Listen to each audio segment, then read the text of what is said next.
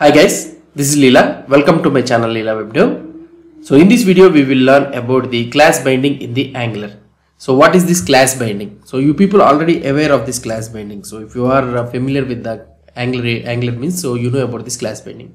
So class binding in the Angular allows you to dynamically add or remove the CSS classes based on the conditions in your component logic. So these condition these classes can be added in uh, three different ways. One is binding a single class. So binding a single class. So how we'll bind it, I will try to show you. These are different different scenarios. And another one is binding a multiple class. So here I will write it. And the last one is binding to a multiple class with an array or an object, whichever it may be. So you can conditionally apply multiple classes using an array and you can add or remove multiple classes using an object. So this multiple classes and single class means you can add or remove a single class based on a boolean condition.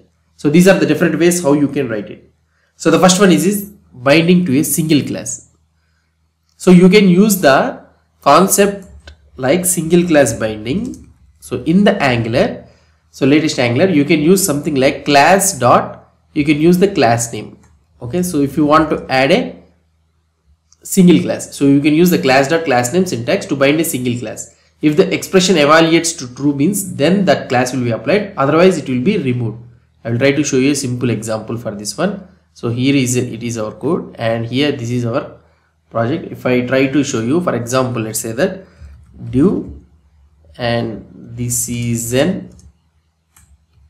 I will write something like active div and here I want to apply a class. So in our app component.ts so here I will write a code in such a way that is active is equal to true. Okay, I will be having is active is equal to true.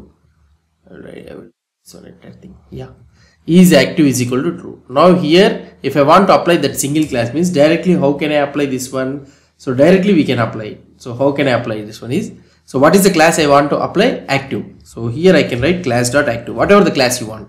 So here you can write it as something like not active. So live or anything whatever thing you want. So active and you need to mention the variable name that one should be a boolean so that one should be a truthy value. So here I will apply this is active to this one. That's it. Automatically for this one is active class will be applied. If I try to show you the inspect element here and here you will be able to see class is equal to active has been applied. So if you so that means whenever you are having a single class that needs to be applied means so you can use class dot active is equal to active like this. For example, let's say that you are having a multiple uh, multiple classes using an object. So then what you can do it is so let's say that you are having two things like uh, is active and also is highlighted. So these are the two things you are having. Now I want to apply the classes to this one. So how can I apply this one? So now what we need to do is we need to use a directive that is nothing but ng class. ng class is equal to and here I will use what is the class I want to use active and what is the variable associated to this one is is active and another one I want to apply is the highlight. Okay? I want to apply the highlight. So when is highlighted is there. That's it. So now active class and highlight class both the classes will be applied. If is active is true then active class will be applied. If is highlighted is true means then highlight is applied. But in this scenario if you try to see is highlighted is false and is active is true. So that means only the active class will be applied. If you try to check it here the inspect element only the you will be able to see the class is equal to active is the only thing which has been applied. For example let's say that i will try to apply is highlighted. So i will make it apply as true.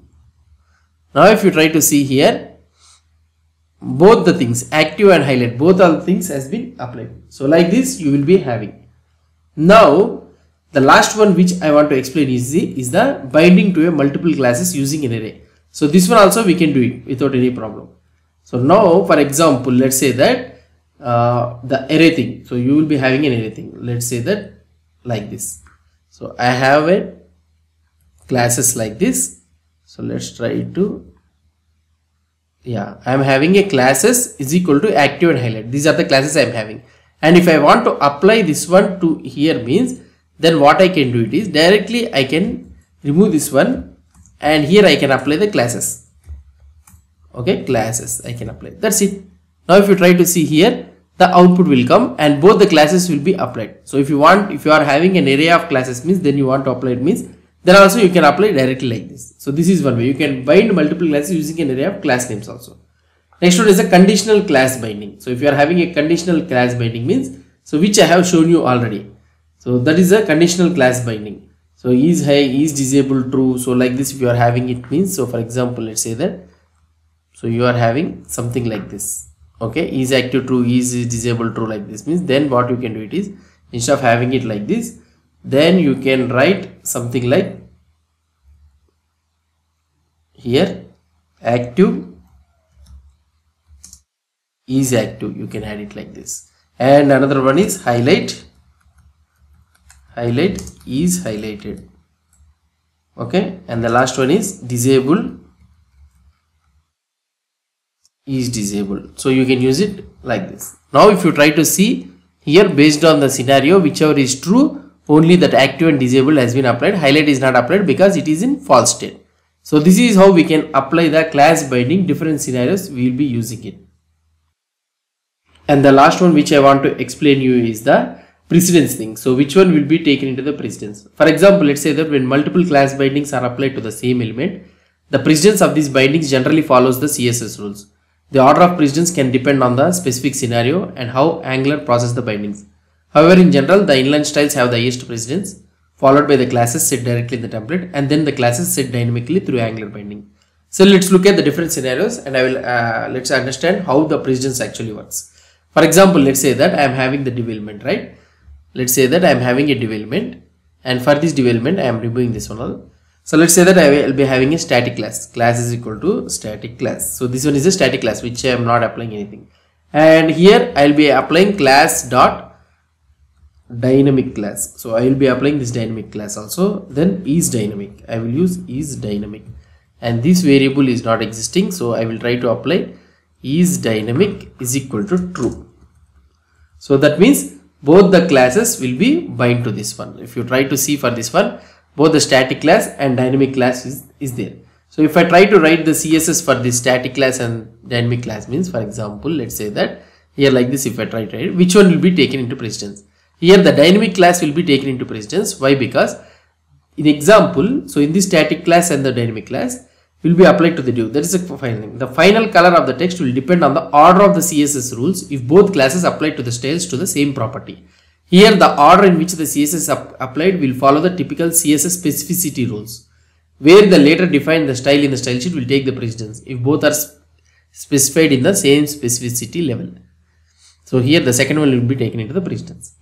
So next one is the multiple dynamic class bindings. For example, let's say that here let's go to the HTML and I will be having dynamic class bindings means let's say class sorry class dot active is equal to is active. Let's say that i'm having it like this. And another one is class dot highlight is equal to is highlighted. So these are the two variables which i will be having and these two things i will try to make it as a true so i will make it as a true here now if you try to see the output for this one now if I try to see the output for this one, so here you'll be able to see active and a highlight thing is coming. Now let's try to apply the CSS for this one. So both the things I am applying is CSS for this. So which one will be taken into the precedence?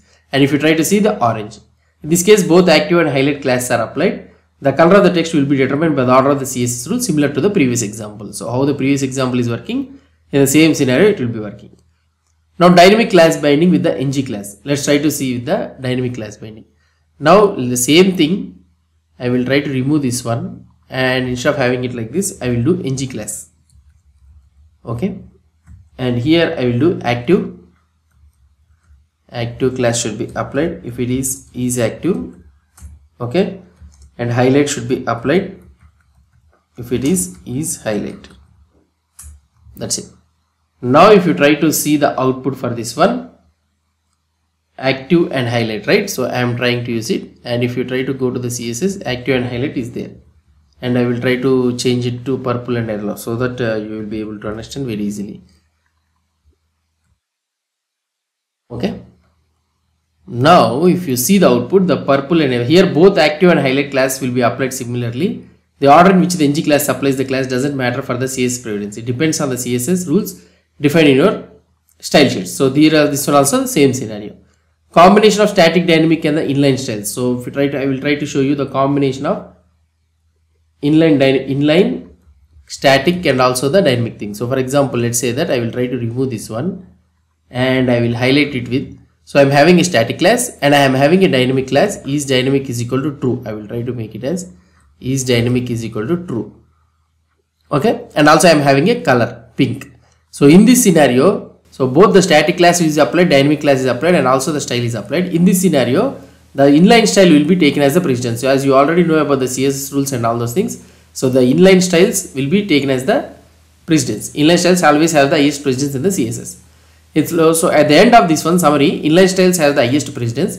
Dynamic class bindings, class dot class name or ng class will override the static classes if both apply styles to the same property. Order of the CSS rules in the style sheet matters if multiple classes apply the styles to the same property. The later defined will take the precedence. So this is all different scenarios in the class binding. Hope you understood about this one in the Angular. If you have any doubts or any suggestions, please post the comments below to this video. And if you like this video, please do support me by subscribing to my channel. Thank you.